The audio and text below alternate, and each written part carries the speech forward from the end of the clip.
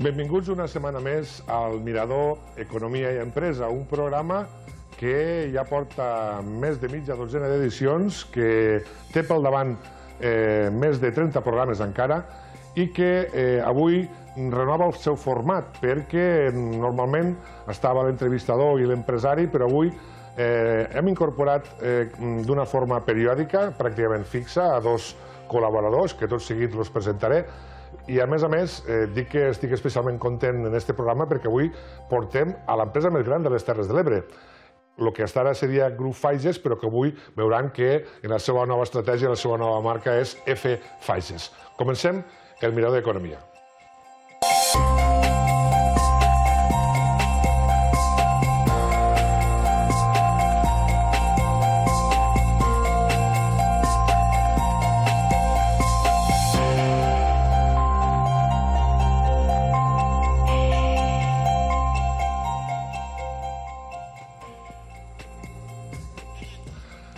Tornem a estar al plató del Centre Audiovisual de la Vegueria, a Tortosa, a la seu de Canal T i d'Esports T. I avui, en un programa del Mirador d'Economia i Empresa, eh, més prometedor que mai, perquè tenim més convidats que mai. Però anem a pams, comencem per cadascun d'ells i us presentem durant uns minuts perquè val la pena. En primer lloc, voldria presentar-los a Javi Faiges Marcos, ell és el gerent de F Faiges, benvingut. Moltes gràcies, bona tarda. Eh, a banda de ser el gerent de l'empresa més gran de les Terres de l'Ebre, també sou advocat, també doneu professor, sou professor universitari a l'URB a Tarragona. Tens temps de tantes coses? Bueno, costa, costa compaginar-ho, però la veritat que eh, el fet de treballar a l'empresa familiar sempre ens dona una flexibilitat i intentem no, eh, que aquestes tres dedicacions que tinc pues, sempre puguin ser eh, fàcils de compaginar gràcies a aquesta flexibilitat. Gràcies per participar al programa. Gràcies. Veuràs que al darrere tenim unes pantalles on ens posa ja la marca correctament. F Faises, l'empresa més gran de les Terres de l'Ebre. A la banda d'allà tenim els conreus, les noves, les noves eh, oliveres intensives, que també són un tema d'actualitat que segurament ne parlarem, i aquí les instal·lacions, diguem-ne, de tota la vida del grup Faiges a Tortosa, barri de Ferreries. Continuem amb les presentacions. Benvinguda, Rita Faiges.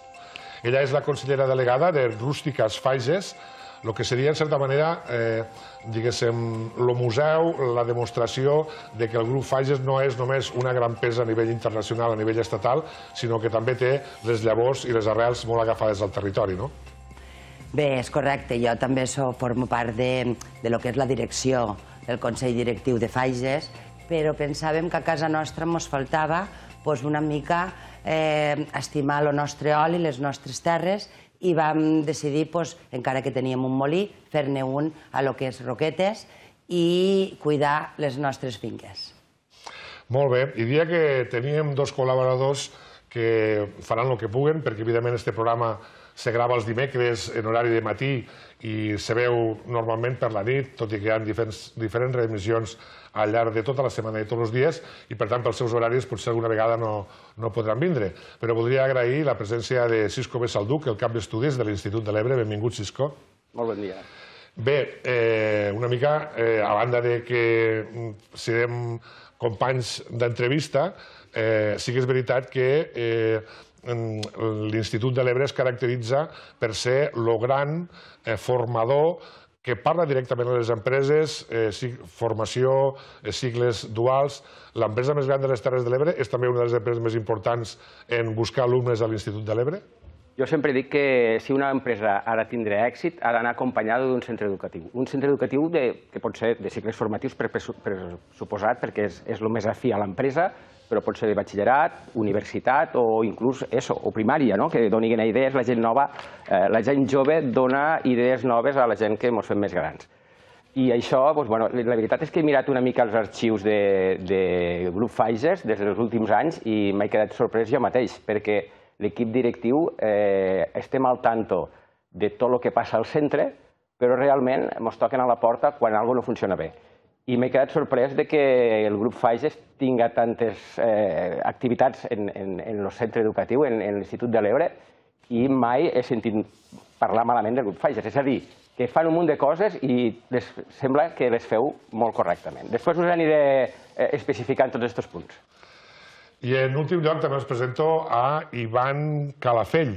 Ell és un estudiant del grau d'Associació i Direcció d'Empreses del campus de la URB de Tortosa, en concretament de la Facultat d'Empresa i Treball, si no m'equivoco. Benvingut, Ivan. Bon dia. Me consta que des de que vaig proposar al centre si els professors o els alumnes podíeu participar d'aquest programa, perquè crec que podeu enriquir-lo, sens dubte, donant una visió més fresca i diferent, però també buscant una miqueta de documentació, eh, diguem-ne, heu estat preparant eh, el programa. Dis-me una mica com ha funcionat este debat previ que tu has portat dins els teus companys i que avui, en certa manera, representes. Doncs som un grup d'unes sis persones, en el nostre, a la classe som uns tres grups, i en quan ens van dir que tindríem que l'oportunitat d'entrevistar a Fages, ens van preparar una mica la fitxa tècnica i mirar una mica les característiques de l'empresa, van preparar algunes preguntes que considerem que poden ser interessants i, i bueno, vam mirar una mica l'actualitat de, de l'empresa. Moltes gràcies a Ivan, també moltes gràcies a la direcció, a l'estaf de, eh, de la Facultat d'Empresa i Treball i del campus de la URB en definitiva. I com que el primer apartat que teníem guionat era parlar una miqueta d'història, em consta que també ho havies preparat, eh, t'invito a, si vols fer la primera pregunta, que en certa manera seria eh, el que el que coneixem, jo personalment conec el grup Pfizer de fa molts anys, però he anat a la web i allí tenim la informació de tot, de tot el que suposo que també heu degut consultar a la web respecte a la història d'esta empresa, que és el que et sorprèn o que els voldries preguntar. Doncs m'ha sorprès que, bueno, primerament que és una empresa familiar, que se nota que té una tradició important, a més té molta història, i me preguntava també quins han sigut una mica els reptes al llarg d'aquesta història, sobretot en vista de, de com s'ha anat expandint i de la inauguració del molí a Roquetes. Una empresa de tres generacions, és important subratllar, no? Gràcies, gràcies per la pregunta, és una molt bona pregunta. A mi sempre m'agrada començar, eh, com no pot ser d'altra manera, de, pel meu avi, que és el, el Francisco Faixes Ribàs, que va ser la persona que provoca que avui tant Rita com jo eh, siguéssim aquí. Eh, és una empresa que crea fa 60 anys, quan ell té uns 20 anys, i la, la veritat que, que gràcies a ell estem aquí. Sobre aquestes generacions, a nosaltres sempre ens agrada dir que realment en són quatre, perquè a pesar que l'avi és el, el fundador, l'avi va aconseguir que el seu pare també treballés. Llavors, a pesar de que eh, va ser una fi la figura més rellevant és la de l'avi, a dintre de la casa hem treballat el que seria el meu besavi, l'avi, el pare, i ara també estem, gràcies a que també la, la, la família ens ho ha permès, també estem la, la quarta, ja seria la quarta generació, que, que jo formo part d'aquesta quarta. No? Llavors, eh, el gran repte és, el principal és que l'avi comença amb una idea, però no comença amb un patrimoni, no, no, no es ve d'una família econòmicament potent, i tot es comença des de la il·lusió, i, i amb, amb ajudes, perquè no té, ell no té capacitat econòmica, i a partir d'aquí és un creixement que té exponencial durant els anys, fins que avui ens trobem aquí. No? Per tant, el gran repte és com començar un negoci com el que avui tenim des de zero.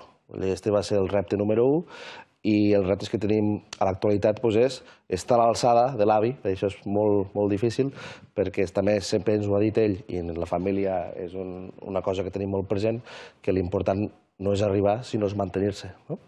Llavors, el mantenir-se avui en dia és, una, és un repte en si mateix perquè eh, som, dels cinc, eh, som de les cinc empreses a nivell nacional que més oli produeixen i més oli, més oli envasen i, i llavors això significa que estem a, al top mundial de, dels productors d'oli i envasadors, no? perquè hem de pensar que a Espanya es produeix una, quasi, el que és el, quasi el 70% de l'oli d'oliva a nivell mundial. Per tant, si estàs a l'elit espanyola, estàs a l'elit mundial.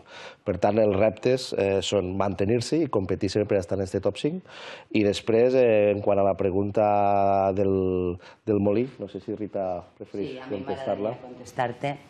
Pues bé, mm, l'empresa és gran, de moment teníem Daimiel, teníem Navalmorales, teníem un molí a Navalmorales i teníem, bueno, i mon pare va plantejar que tenim moltes finques, perquè realment, si parlem d'arbres, doncs mira, sol en la zona de Roquetes doncs podem tindre 80.000 arbres d'intensiu d'arbequí, a la zona de Vinallop ne podem tindre uns 40.000 d'arbossana i uns 60.000 d'arbequí, i sobretot lo tradicional. I me ve un dia i me diu, Rita, diu, és que les fingues les tenim com abandonades.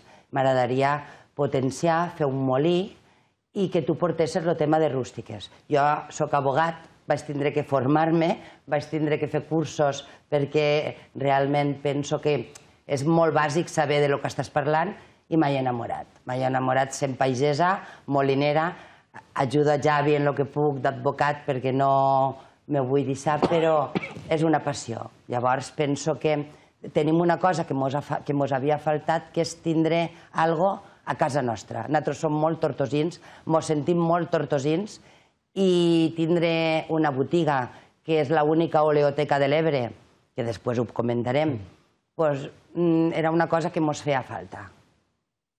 Molt bé, eh, vull invitar-vos, Ivan, Cisco, a fer la pregunta quan eh, vos ha una cosa interessant per a la gent. També volia destacar que obtenim eh, productes Faiges, també en parlarem a la segona part del programa, volia parlar de les moltes marques que teniu, perquè subratllo dos dades que has donat, Javi, que era que a l'Estat se produeix el 70% de l'oli de tot el món, eh, que vosaltres eh, sou entre les primeres, entre les cinc primeres eh, empreses de, del sector de l'oli a nivell de tot el procés, de l'envasat, eh, la comercialització, la producció, tot. Per tant, vol dir que a Tortosa encara tenim, o encara som, o sou, eh, lo centre, un centre de referència a nivell de, del món, si més no de l'Estat. Correcte, sí, sí, així és. Eh, sobre l'oli que es produeix a Espanya, puntualitzar que és l'oliva, eh? que és l'oliva que és, sens dubte, el producte estrella a nivell del nostre sector oleícola, i, i sí, sí, de, és així. De fet, estem en aquestes en estes cinc empreses a nivell espanyol i segurament estarem entre les 15 o 20 més importants a nivell mundial. Rita parlava de que eh, F. Faiges té un altre centre de producció a Ciutat Real, inaugurat l'any 2007, a la població de Daimiel. L'any 2015 també va fer un altre a Toledo, a los Naval Morales, i també està el, de Roquetes, que en parlarem més a fons la segona part. Eh, mirava a la web una idea que m'ha sorprès, que és que eh, posant dins del mapa de l'estat espanyol, això fa un triangle, Tortosa, Toledo, eh, Ciutat Real, i dieu que això, de cara a disfrutar de les diferents infraestructures, en un món global, a l'hora de la comercialització, us facilita les coses. No sé si és que feu servir carretera, feu servir tren, feu servir aeroports, barcos... De certa manera, aquesta posició estratègica m'agradaria una mica que me la, que me li expliquéssiu a la gent eh, quin és el potencial que us dona com a tindre tres centres de producció. Molt bé, doncs, eh, si et sembla bé, començaré pel tema dels centres i per què anem a cada lloc, i després també podem parlar del tema logístic, que sens dubte és molt interessant. Eh, pel que fa als centres, a mi sempre m'ha d'explicar que, que els centres naixen a, a, per motiu de que cada vegada nosaltres fem més processos al nostre sector. És a dir, quan, quan l'avi comença, el, la nostra activitat bàsicament és la intermediació, compra, compra i venda de producte. Quan, quan l'activitat la, que porta el meu avi comença a tenir més rellevància, el que fem és, és fer una primera instal·lació tortosa, on el que tenim són bàsicament dipòsits, i eh, el que comença a fer el meu avi és seleccionar olis, fer copatges i vendre. Quan el negoci va millor, el que ja fem és instal·lar la primera refineria, que instal·lem a Tortosa, on llavors el que fem és transformar l'oli d'oliva, que s'anomena llampant, que vol dir que no és apte per al consum humà, perquè hi ha algun punt analític o de gust que, que no acaba d'encaixar, i el que fem és transformar-lo amb, amb oli d'oliva refinat per poder vendre. No? I tot això es porta a Tortosa, en una mentalitat i una activitat molt de venda granel, amb cisterna. Llavors, eh, el segon pas quin és? No? Vendre el nostre propi oli envasat, doncs a Tortosa inclús instal·lem eh, dues envasadores, una de 5 litres i una 1 litre, però ràpidament, estem parlant ja, m'he anat al 2005, una, una miqueta abans, l'any 2000, ja veiem que, que si volem ser eh, competidors al mateix nivell d'exigència que els més importants del sector nacional, ens veiem obligats a crear una infraestructura i una estructura de negoci que la pròpia planta de Tortosa ja no ens permet per un motiu de capacitat. A més, logísticament no, no, era, no, no era molt interessant o rentable el portar l'oli d'Andalusia per portar-lo a Tortosa, transformar-lo, envasar-lo i tornar-lo a distribuir arreu del país. No? Llavors el que fem és busquem un centre neuràlgic on fer aquesta activitat bàsicament envasadora. En aquest aspecte eh, localitzem Daimiel, que és, un, és, una, és una ciutat que està a la província de Ciudad Real, que bàsicament, si agaféssim el que seria el centre de la península Ibèrica, trobaríem que està ubicada en aquest centre. No? Eh, de fet, és un centre on tenim grans empreses com García Carrion, que també, grup Don Simón, que també estan allà pel mateix motiu. Llavors, allà el que fem bàsicament, i ens tenim a prop de l'oli, òbviament, allà el que fem bàsicament és instal·lar aquesta envasadora i també eh, eh, obrim dues refineries més per potenciar aquesta capacitat de producció. Llavors, un cop dominem també el sector de l'envasat i ja som competitius, què ens falta? Perquè l'oli el comprem, ja el refinem i ja l'envasem. Què ens falta? El que deia la Rita, ens falta el punt principal, crear el nostre producte. Llavors, on anem? Anem a Toledo, i a Toledo es va bàsicament perquè també hi ha una qualitat important. A Toledo hi ha una, una denominació d'origen que es diu Montes de Toledo i a part també volem escapar de la gran eh, atomització i la gran producció que hi ha a Jaén, on hi ha tanta activitat que pensem que no és interessant ser un més que està a Jaén, i busquem una altra zona, que és la segona zona més important d'Espanya de producció, que és Toledo, on hi ha menys competència i segurament un producte que pugui ser un pèl més reconegut a nivell de qualitat.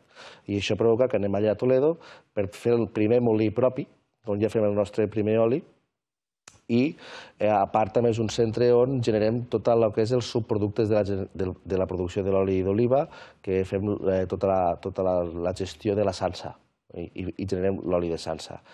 I ja després, per acabar, doncs, creem el molí, eh, què ens falta? Les nostres pròpies oliveres.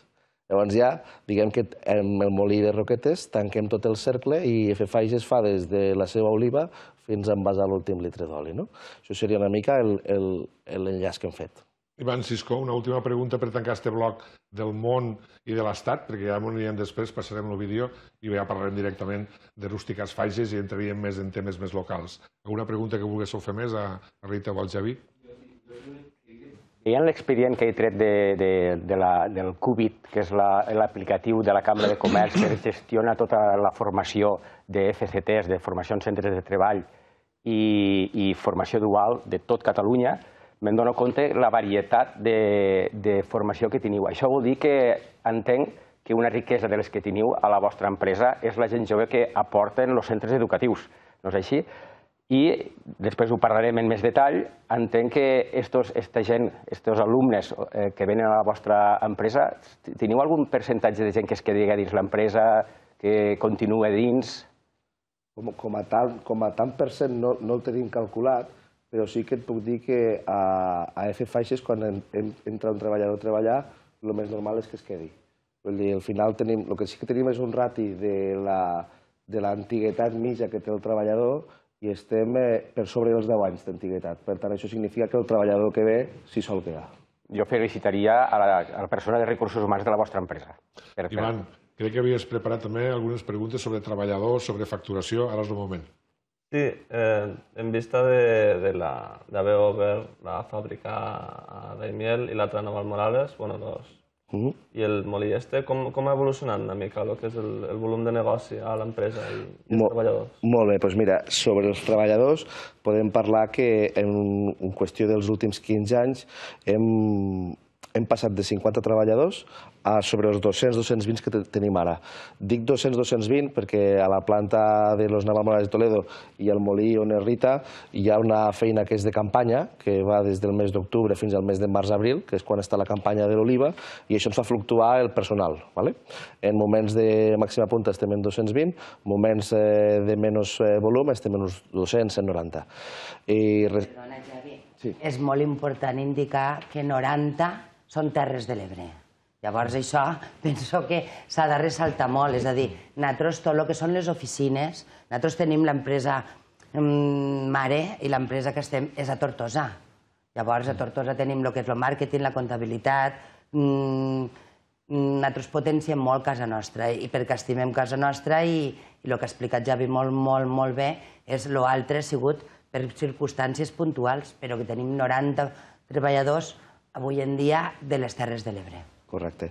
I respecte a l'augment del volum de la facturació, eh, a mi sempre m'agrada explicar que nosaltres treballem en productes amb, amb un preu molt volàtil, els olis, eh, els olis d'oliva, olis de, de girassol i la resta de llavors són productes que són vius i tenen una volatilitat eh, molt important. És a dir, depèn del mes i del moment, podem tindre variacions del 30, 40 o del 70%. I més ara, en els últims moments, degut a la Covid, guerra, Ucrània, Rússia, etc. Això provoca que que quan parlem de facturació pugui ser enganyós i ens agrada parlar molt sobre el volum de venda de les tones d'oli que venem. No?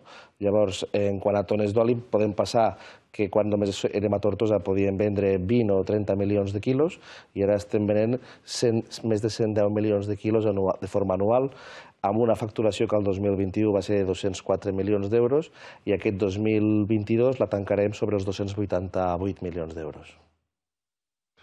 Mm, per acabar de reforçar aquest punt eh, del caràcter local i de solera de F. Faiges, F. Faiges recull eh, eh, el Bau, l'Autran, l'Abaco... Expliqueu-me una miqueta això, perquè quan explicàvem la història dels orígens de l'empresa hem passat de puntetes i no ho hem explicat massa bé. Crec que a la part de la història d'en Beniu, eh, el nom de Bau, el nom d'Eutran i el nom de Baco tenen alguna referència important que dir, no? Correcte. De fet, el, el meu avi, quan ja comença a tindre una importància al sector, el que fa és eh, adquirir aquestes societats, és a dir, aquestes tres marques venen de tres empreses que eren Aceites Autran, Aceites Bau i Aceites Abaco. Llavors el meu avi el que fa és adquirir aquestes tres empreses que eren de la zona i el que vol és consolidar les seves marques com a, una, com a marques tortosines que puguen eh, eh, exportar-se tot el món. De fet, són marques que són més conegudes al món de l'exportació que al propi, al propi país. No? Llavors són marques que són vives, que les utilitzem i que tenim molt present que no volem perdre. Sent Abaco, avui en dia, la nostra referència o primera referència i per la qual hem apostat més perquè és la primera que van tenir, la que té més tradició i més reconeixement. Però dins d'aquest món de grans xifres, parlaves de 100, 285 milions d'euros de facturació, quina part és oli, quina part són oli d'oliva, i quina part són els altres olis? Doncs podríem estar al voltant del 50%. Bueno, hem, de tindre, perdó, hem de tindre present que la situació econòmica actual està provocant que el gran consumidor cada cop també busque olis més econòmics i nosaltres eh, sempre ho diem, per sort tenim la gran fortuna de poder fabricar qualsevol oli comestible a nivell mundial per a qualsevol país i per tant nosaltres sempre ens movem amb la necessitat que té el client. Treballem en grans superfícies i el que estem denotant més és que cada cop l'oli d'oliva continua sent el, el producte estrella, és el millor oli a nivell organolèptic, d'això no hi ha cap dubte, però també és veritat que quan, com està passant ara, eh, un litre es fica per sobre dels 4 euros, també el consumidor això ho nota i estem veient també que hi ha un consum una mica més eh, eh, de, de lo que era normal dels olis de llavors. Jo voldria fer un matís perquè a més estem molt orgullosos que nosaltres tenim la marca Tortosa. És a dir, la marca Tortosa, quan nosaltres, com diu Javi, vam adquirir el que és el negoci, vam comprar tot el que és el negoci de Bau, vam adquirir Bau i vam adquirir també la marca Tortosa i ens sentim molt orgullosos de fer una marca que es digui Tortosa mm, i que estigui als supermercats. Això avui en dia no es pot fer, però com era abans de la llei del... No, perquè hi ha una llei que diu que el que és les ciutats... Mm, sí, la, la, això ve de la llei d'usuaris i consumidors. Abans del 63... és un, luxe, és un luxe poder mantenir Tortosa, no? Mm. Sí, sí, nosaltres la tenim, és nostra, Com la marca una, Tortosa. És una marca registrada a, a l'OPEM, a l'Oficina de Patents i Marques Espanyola, i com té aquesta classificació i hem pogut acreditar el seu ús al llarg dels anys, eh, això ens permet poder-la conservar si la volguéssim crear ara, la, la llei actual no ens ho permetria perquè avui en dia no es permet eh, vincular marca amb un territori d'aquesta forma. Ja que parlem de marques, li voldria demanar al realitzador si pot visualitzar en pantalla la gran quantitat de marques que teniu i fem una mica una repassada. La de eh, Abaco és la més important perquè és la que més ha representat més dins del, del mercat. La de Tortosa és molt emblemàtica, com deia Rita, perquè és segurament una de les poques que identifica en un territori. La resta de marques no sé si les podem veure, però en tot cas explica'm, hi ha marques que s'han pensades més de cara al sur, més de cara a Jaén, més de, més de cara al centre, més de cara a l'estranger. Quin és el criteri que feu servir per a comercialitzar? Molt bé, doncs el criteri eh, bàsicament eh, són dos. Eh, el primer és eh, a qui va dirigit, perquè, per exemple, també tenim marques que només van dirigides al canal Oreca, canal d'hostaleria, restauració i cafeteries, com per exemple la marca Langosta, que són marques que estan més encarades per al sector industrial, més especialitzades en eh, ser eficients a la cuina professional. I després tenim eh, les marques que ens identifiquen com a zona, que tindríem Abaco, tindríem Bau i tindríem Autran. I després també, com molt bé comentaves, tenim marques que propis clients de tota la vida ens han demanat de fer doncs perquè eh, han necessitat una, alguna marca en algun sentit, com podria ser Gran Oliva, Gran Olivo, perdó, o Gran Sur, que són o Gran Sol, que, tenim, que són marques que els propis clients nostres ens han demanat de crear i nosaltres, com tenim aquesta experiència, les hem creat i les hem sapigut després aprofitar per a, per a altres clients. Unes marques que tenen diferents cadenes de producció, que igual estan a Tortosa, que estan als altres dos centres, no? Depèn. Bueno, tot, tot el que és l'envasat es fa a Ciudad Real. Molt bé. Sí, sí. Molt bé. No, no, perdona. Jo aquí he de fer el mateix. He de, he de lluitar per lo meu. Nosaltres tenim la marca Faiges, nosaltres, el que és rústiques, tenim la marca vale. Faiges, està existeix, i és una farga de Vinallop, eh? Del... I què passa? Que nosaltres ara li hem donat en un, el que és la reserva de la biosfera i, i un sentit de potenciar sobretot l'oli de les nostres terres. Este oli de les nostres terres és diferent a lo que fa Faiges M'encanta el tema que estàs encetant, però abans eh, voldria que els telespectadors veguessin des de casa un vídeo que il·lustra això que està parlant Rita i que després de veure aquest vídeo, que tots seguits els passem, minut i mig, dos minuts màxim, tornem a parlar més a fons del que comentàvem ara.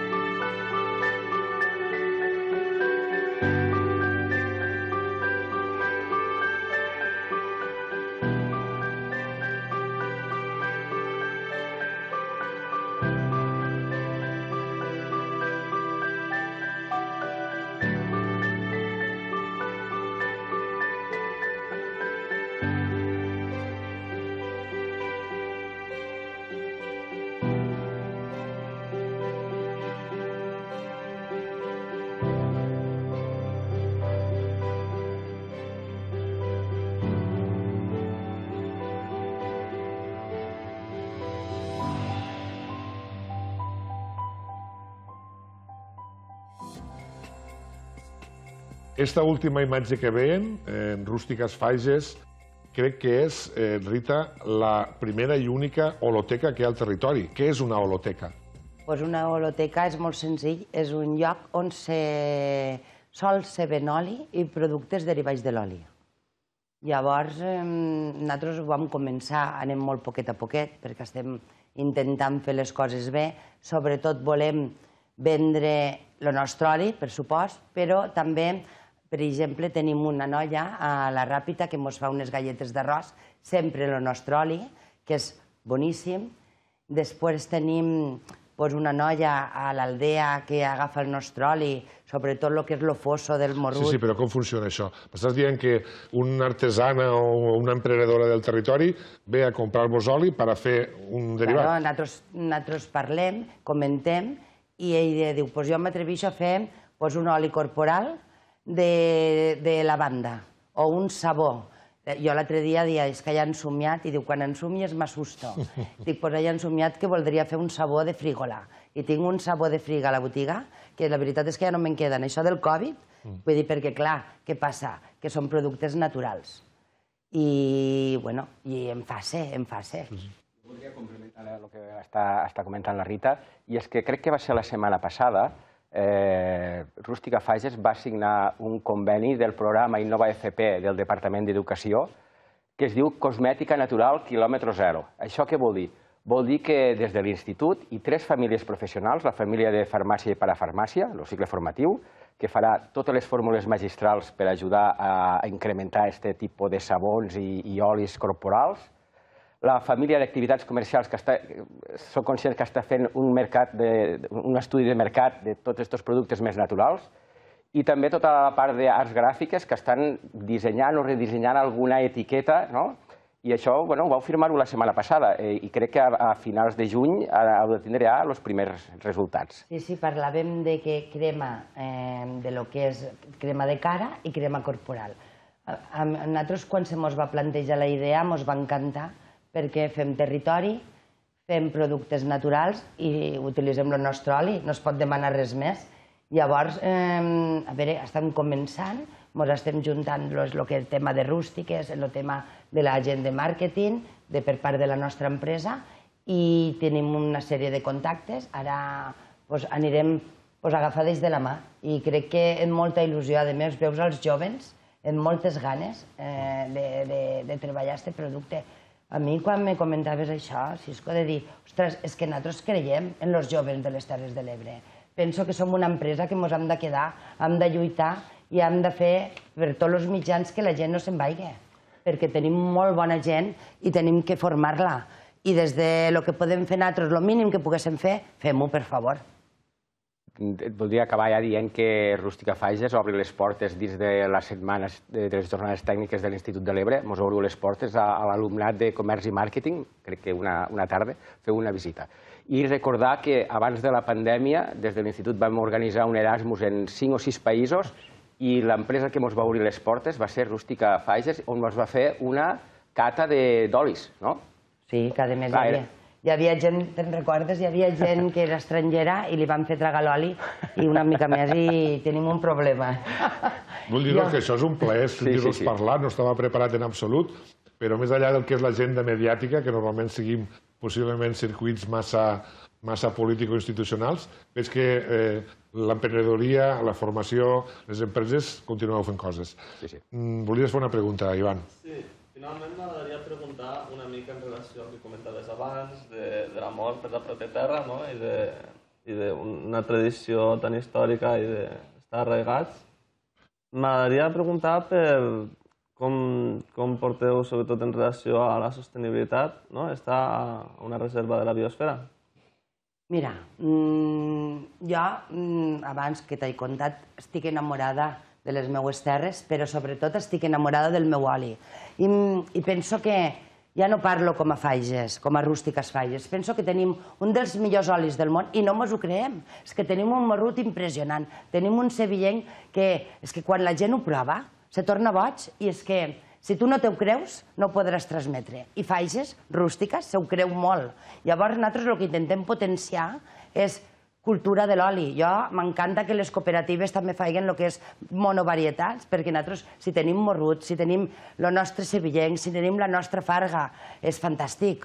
Llavors, nosaltres vam, vam veure el projecte de, de reserva de la biosfera que sol te demanaven tres coses. Les finques a les Terres de l'Ebre, l'envasat a les Terres de l'Ebre i la comercialització a les Terres de l'Ebre. I això ho estem complint.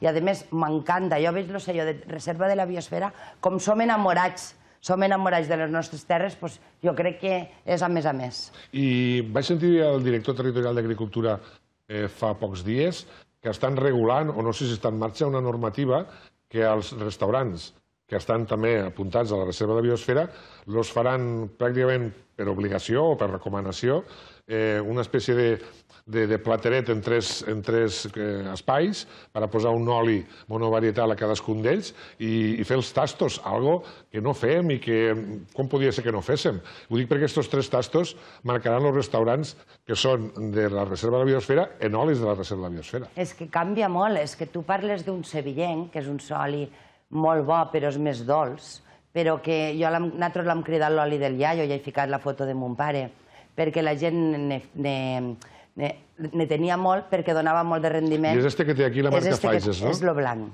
Sí? És I me'l vol ensenyar? Sí. Així Després, per exemple, el morrut és molt més fort, Mm. I, bueno, de Farga aquest any, com ha sigut un any molt dolent, nosaltres no n'hem tingut. Vull dir, anar... Este és l'oli este és l'oli del iaio, i és l'oli sevillenc. I canvia tant de lo que és un sevillenc a lo que és un morrut, que és que disfrutes. Vull dir, nosaltres quan fem una cata, mmm, bueno, jo mmm, penso que s'ha de valorar el que és les diferents tipus i varietats d'oli que tenim a les Terres de l'Ebre.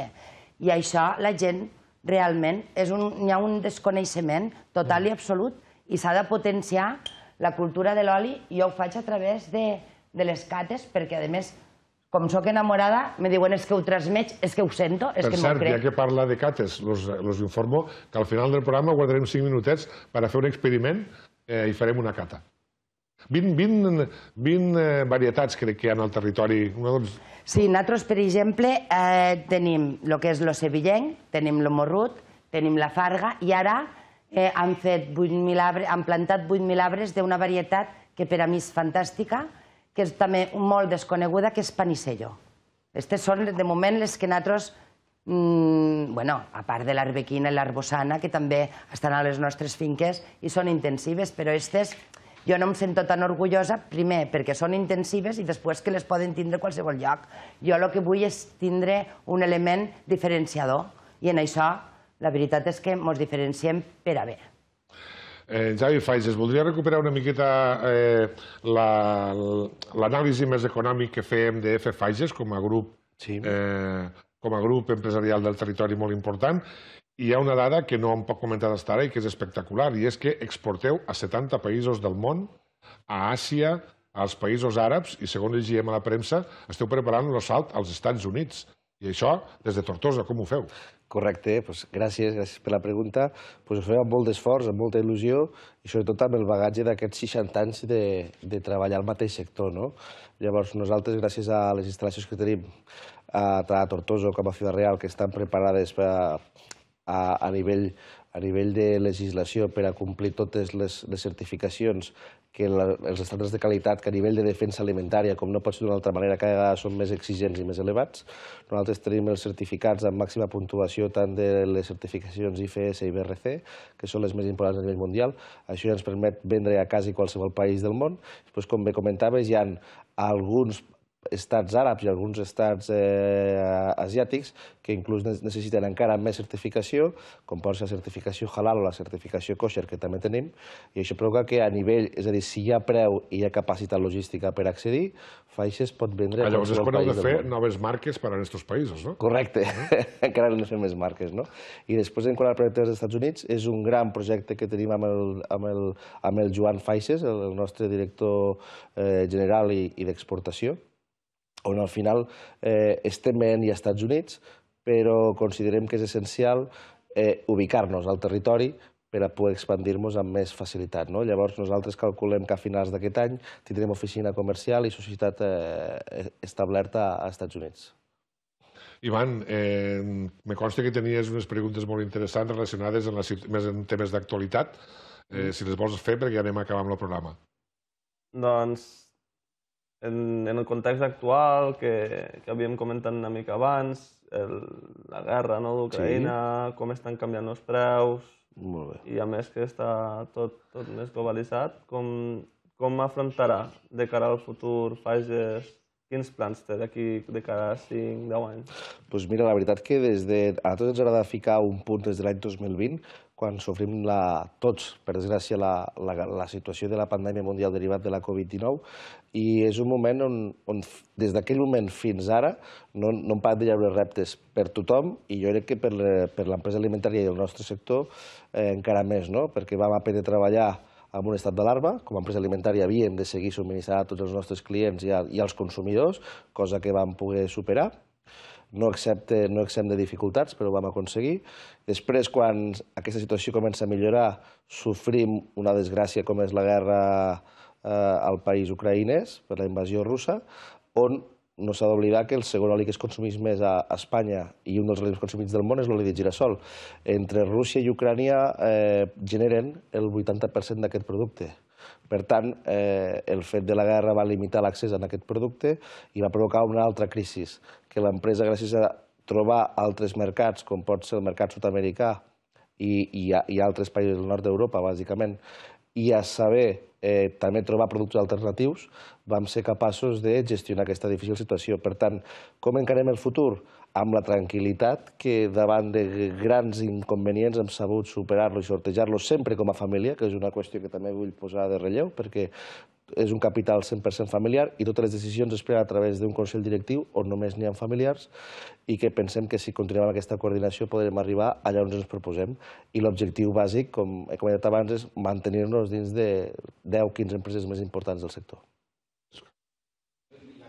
També la intervenció. Eh, Dir-los que els dos, l'empresa Faiges i l'Institut de l'Ebre són veïns del barri de Ferreries i de vegades els deixem més a part, tot i que hi tenim molta relació eh, invitar-vos simplement a una activitat que fem a l'Institut de l'Ebre, que és el Work Café, i a partir de quan hi ha, de ja, ja podeu vindre a assistir a aquesta activitat, que us farem un tomb pel centre i us explicarem tot el ventall de possibilitats i de la carta de serveis que tenim a l'Institut.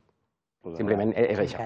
Una cunya, ben, una cunya ben posada. Jo només volia acabar també lligant en aquesta perspectiva de futur que, que feia la pregunta Ivan, Eh, una mica ho has dit, eh? és a dir, el nostre repte és una mica anar superant com a família els reptes mundials. Eh, alguna nova inversió, algun repte o realment la feina ja l'heu feta? És a dir, una mica perquè mm, interpreto que heu superat un problema tan gran com el, el, el tema de l'oli de girassol i ho heu pogut resoldre. Per tant, teniu molta capacitat o, o flexibilitat o capacitat de treballar. Eh, però a futur eh, ja esteu ben com esteu o encara podeu créixer més? Eh, jo crec que sempre el, un empresari sempre ha d'aspirar a més perquè la competència també t'hi obliga. No? Llavors, nosaltres sempre aspirem a més i jo crec que ara el gran repte del sector i de quasi qualsevol activitat eh, econòmica i industrial és la sostenibilitat. Llavors, el nostre gran repte és ser més eficients, com consumir menys gas, la crisi del gas també també ens va afectar i l'hem superada, com, com ser més sostenibles amb, la nostra, amb el nostre consum energètic. Ara hem fet una instal·lació molt important a Ciutat Real on, on hem instal·lat eh, un seguit de plaques fotovoltaiques que ens està provocant eh, que el 70% de la nostra indústria elèctrica ja sigui generada per, per aquesta energia renovable, un procés que de fet també portarem a Tortosa aquest any i per tant entenem que Estaria que aquí tenen plaques solars? Correcte, ah, aquí, aquí, aquí també les ficarem. Llavors, el gran repte és aquest, no? Eh, com seguir amb el mateix volum o inclús superar-lo, però sent més sostenibles. Molt bé, no els acomiado encara, perquè com ja els he dit als, telespectadors, eh, farem ara un tast. Per tant, per a guanyar una miqueta de temps i canviar el mobiliari, ja veran que quan tornéssim d'aquest vídeo que els anem a emetre ara, estirem ja preparats per tastar l'oli Faiges, este oli que Rita explicava, el morrut, que explicava també que ens feia créixer la saliva. En definitiva, mm, gràcies d'una part per haver sigut tan transparents i per l'amabilitat d'explicar-nos un projecte tan gran i tan important pel territori. Eh, anem a veure un vídeo on se resumeix la, el valor de F Phases i tornem uns minuts per a fer el tast.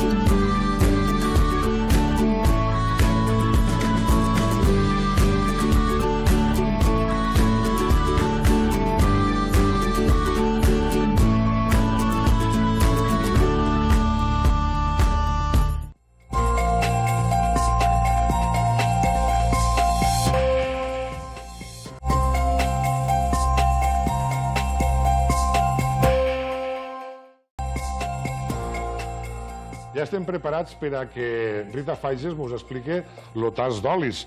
Portem ja 5 minuts així perquè estem així. Pues que tenim que calentar, lo, vull dir, a calentar el que és el got, és un got de color blau, perquè el que actua a lo que és un tast és la vista i l'olfacte. Lo de més, eh, això és com fan els professionals. Que nosaltres siguéssim o no professionals... Ara és bueno, com si deixem a la holoteca i anem a fer un tast, no? I què farem? Sí, faríem una mica la degustació. Lo, quan fem el que és el tast, ho fem una miqueta més complet. Però aquí no tenim que temps, doncs anem a buscar l'oli bo i vos he portat el millor oli que tinc, vull dir que és el morrut de mianes, i m'agradaria molt que ara penseu que una degustació és com un contacte primer ens hem de conèixer. ¿vale? Eh, la primera cosa, si el trobeu que ja està prou calent, trobeu que la mà ja està prou calent, una mica sempre dic jo, quan faig un tas, que fem una mica el ridícul, però que no se preocupen perquè el pitjor sóc jo. Jo no he fet mai això, vosaltres ho heu fet, Cisco, i no, no? La primera vegada que ho Jo ho fem. havia fet a, a Rosica Fages. Vale, vale. Fa 3 anys o 4. Ah. Abans del Covid. Abans no? del Covid. Jo crec que calent sí que ja està, no ho sé. Vale, doncs llavors comencem en el que és el nas, ¿vale? i començarem a mirar mm, a veure què penseu, què penseu, quina, quin, quins olors trobeu, ¿vale? Fiqueu el nas dins.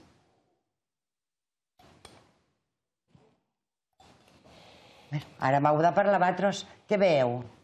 Que, quina olor sentiu? Quin Mira, aroma? a mi el que m'és molt familiar, el que m'és molt familiar és eh, quan obric les gerres, aquelles gerres de ceràmica que tenim a casa, que nosaltres també fem oli per a casa i tenim oliveres i som pagesos, i em recorda aquesta olor, aquesta olor de, de l'oli de la gerra. Però jo demanava, per exemple, si hi ha algun tipus de verdura. Si vosaltres me A podeu mi- identificar, oloreu? A mi una miqueta d'argilaga o de carxofa... Eh...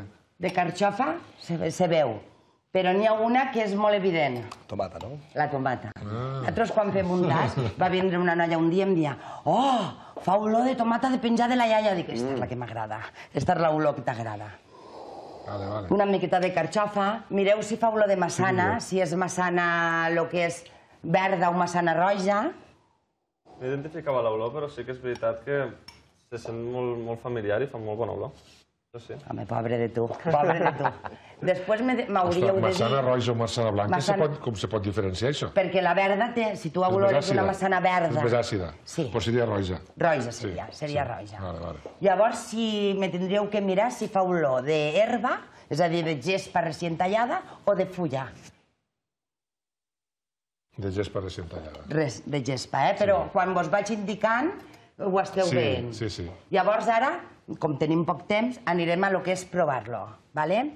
Mm, Primer, els gots són molt menudets i després té esta forma perquè no em traguésseu molt, traguésseu lo, lo mínim, ¿vale? Com he dit que això és una presentació i un coneixement, heu de començar en un traguet i ficar-ho per tota la boca. Mireu, així.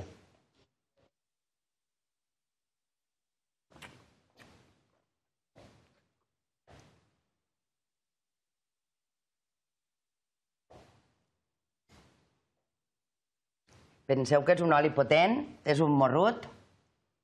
Vale? Ara, una vegada ja tenim la boca contaminada del nostre propi oli, anem a buscar el que és, per a un, un bon oli és lo picant, l'amarg i la dolçor. Vale? Començarem per l'amarg. L'amarg s'ha de provar a lo que és, s'ha de fer gàrgares. Vale? Per això et dic que el ridícul ho farem una mica, però bueno, no hi ha problema que no mos veu ningú. Mireu, així.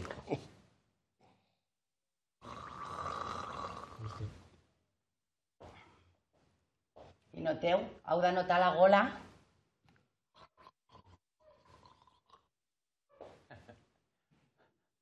Que fort. És boníssim, eh? Lo notes? Notes baix, Amarg, aquí, lo sí. que és a la... Vale.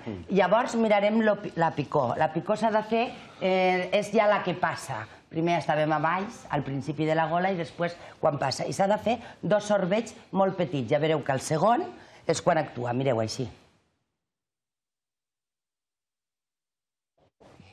Ja.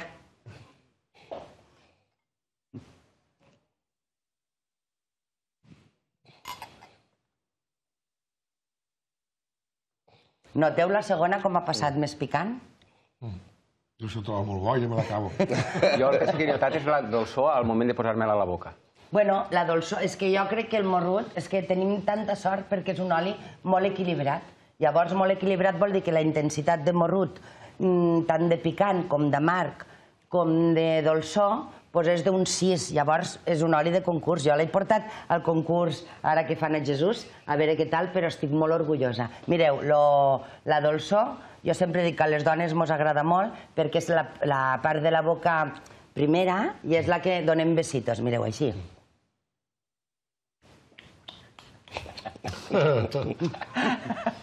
Mos hidrata molt els llavis. I el pa per a què és? Ara després. Ah, vale, vale.